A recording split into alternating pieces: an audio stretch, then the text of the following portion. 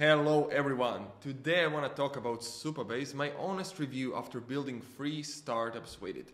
And I want to share everything like pros, cons, and in the end, should you use it for your next project. But before that, I want to give you some background. Originally, I was a front end engineer and I worked in companies for seven years. Then I quit my job, went into content creation and building startups and by the time of quitting my job, I was already a senior front-end engineer.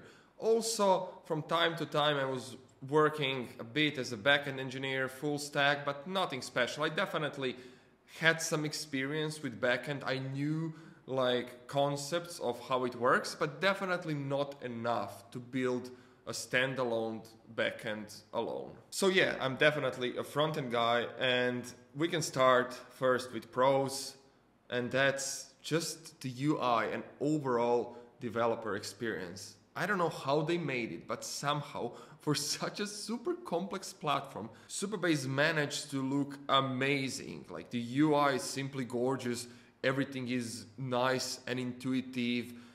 There are so many things that it handles, like database, authentication, storage, edge functions, which are like serverless, and like way, way, way more stuff is inside in this beautiful app. When people talk about Supabase, they often compare it to Firebase. I personally used Firebase, but that was three years ago. I just used it for one of my hobby projects while I was still working my 9 to 5. So I cannot say anything objectively because I simply don't have enough experience with it. Some people love it. I personally didn't like it on the first because you have their Firestore while Supabase has Postgres and I prefer SQL databases. But I just knew when I was starting, since I didn't have great experiences with Firebase, I was like, let's try Supabase. And from the beginning, everything was perfect. It's also amazing that Supabase scales. You can upgrade it if you need more stuff, but they actually have a lot, a lot of startups running on like 25 to $50 a month bills, which is which is completely crazy. And I agree, costs of Supabase are really cheap.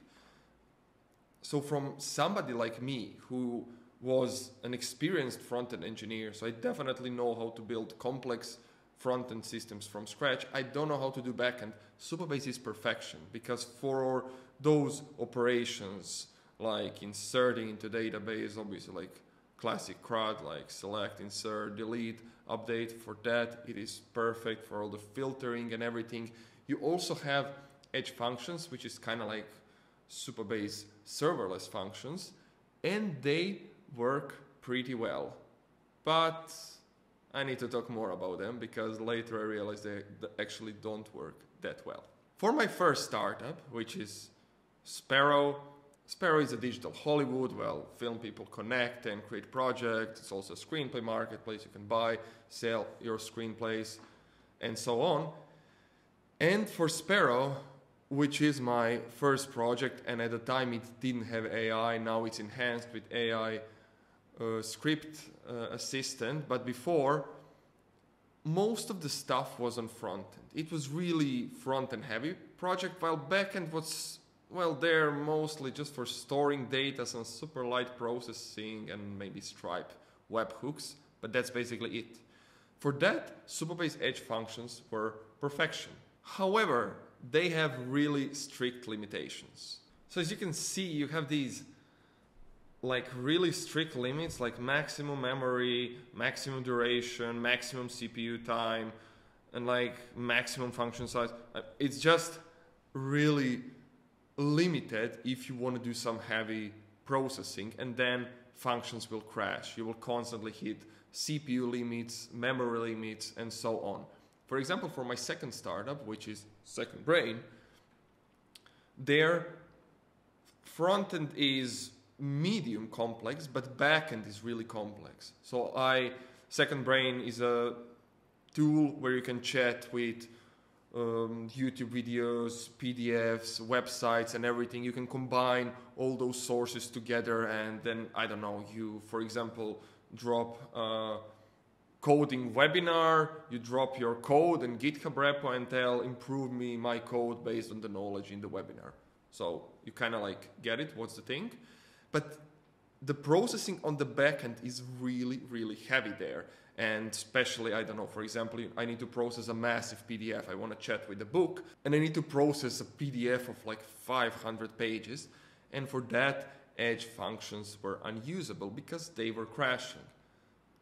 It's not that I just need to parse all the text, but I need to store it in a vector database before I need to optimize it for AI, blah, blah, blah. We're not going to get into that, but Edge functions simply didn't work.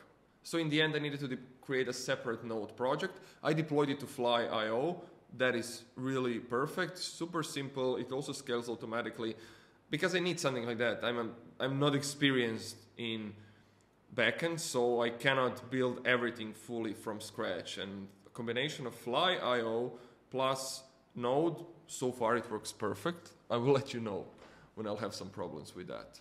But then I also realized Deno in Supabase, it simply doesn't work that well. I mean, you have those problems with imports, then some packages simply won't work well with Deno. It is a bit annoying and it feels like for me, just Deno that's not production ready, that people are still experimenting with it. Of course, you can set up everything and make it work relatively okay, but when I later started my own Node project, I mean Node and TypeScript, it just worked perfectly. It felt like it felt literally like I'm doing things on the front end, but I'm just on the back end.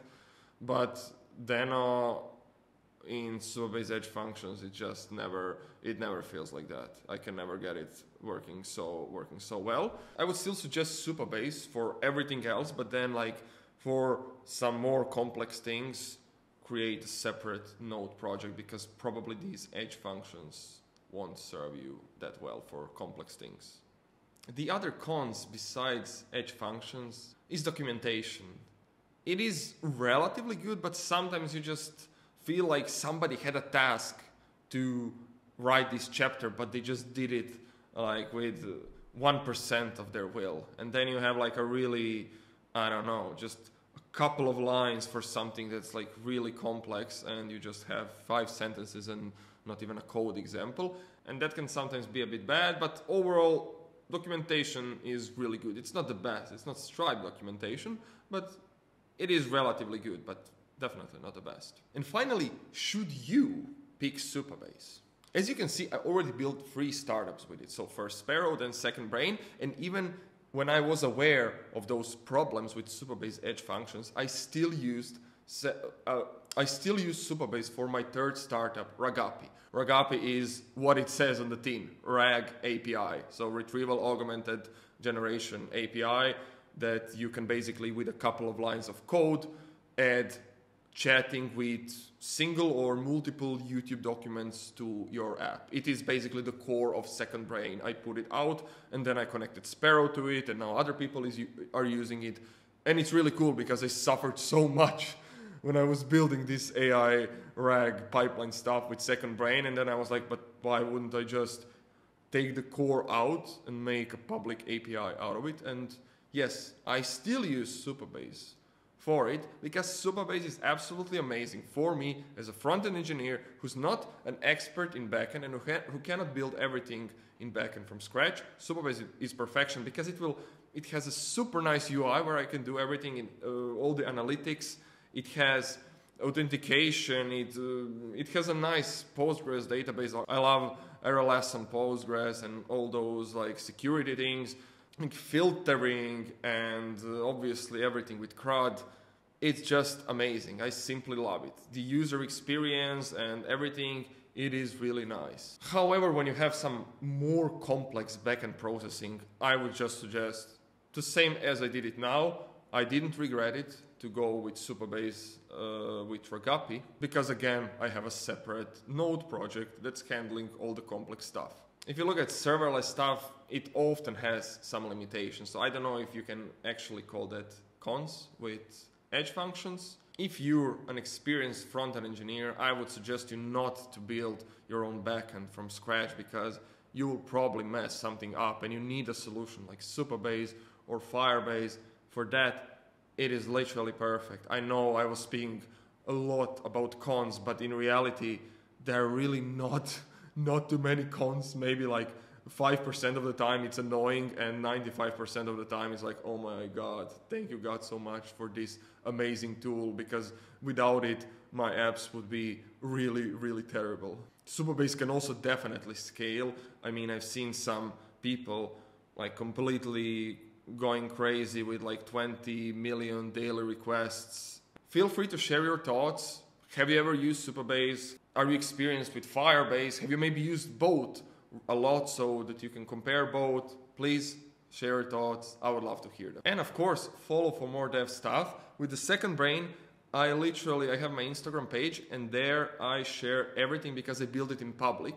My goal was to build it in public before launch, but then I realized no, even after launch I will continue building it in public. I will continue share I will continue to share my problems, my challenges, my failures, my successes, everything transparently because people love to share challenges and love to make everything shiny, but I share how I suck at something and how something doesn't work and how my emails go to spam and I, how I uh, cannot get more revenue and I just share all those things because people need to hear it. Otherwise, from the outside, everything looks so perfect. Everything is so shiny. We're all making so much money, but no, I mean, in reality, you have a lot of, you have a lot of problems and not just me, but any company. I mean, you'll have startups unicorn startups that have massive, massive problems behind the scenes, but you just don't see it because of that shiny facade, like everything is perfect. It's not. So my goal with this is to help developers who want to start coding share all of my problems and failures. So maybe you will actually skip some of the failures and learn on my lessons. But yeah, I just want to share the journey transparent. I just want to share the journey transparently. So feel free to follow if you're interested. Cheers.